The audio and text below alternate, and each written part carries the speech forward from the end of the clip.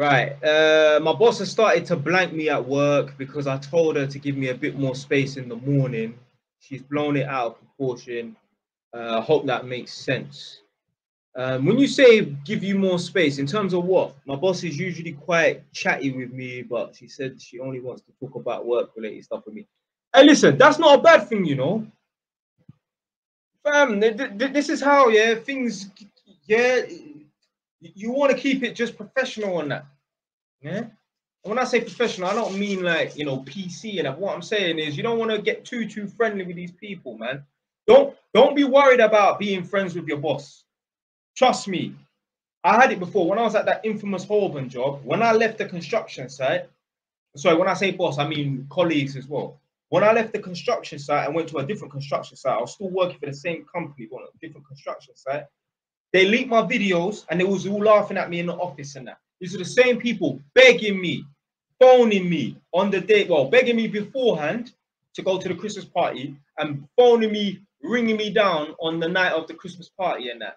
And I was gonna go, and I thought, I fuck these people and that. And then what? Three months later, uh, three weeks later into the new year, they're taking a piss out of me and sharing my videos and laughing and that. But bet they ain't laughing now. You watch when I get a bit more bigger and that, they're gonna be like, oh, I knew that guy, you know. Oh, I used to work with him. You watch.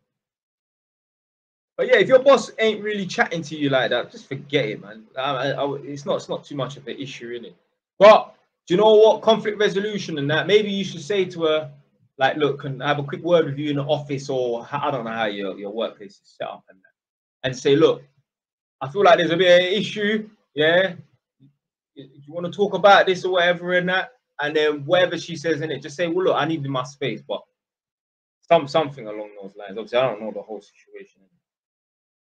I find my boss quite attractive and I like her personality, but maybe it's the it's best we both keep the conversation more professional, like you said.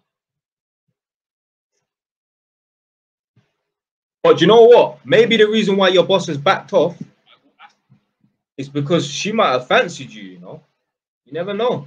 She might have fancied you. So by you telling her to give me space, that's a rejection because if that was fucking if Kim Kardashian was your boss, rude boy, I don't think you'd be telling her to give you some space. Yeah. So she may see that as you not being attracted to her and. And bosses do call it their um their uh, workers, you know. My girl has my girl has two colleagues yeah, at her workplace. But previously, they were at a different company. Now they have a child together. And the woman was the guy's boss at the previous company. I don't know what they was doing. They weren't mortgage brokers. But now they're at my girlfriend's company and they're at the same level. They're just employees. But previously, the woman was the guy's boss. Is that an official term, big man? a couple of my colleagues encouraged me to ask my boss if she wants to go out for a drink with me. Good idea, a good or bad idea in your opinion, as she's my boss. All right, big man, what sort of job do you do? Yeah, because I want to know if it's worth losing your job over. But really and truly, ain't no ass worth losing your job over.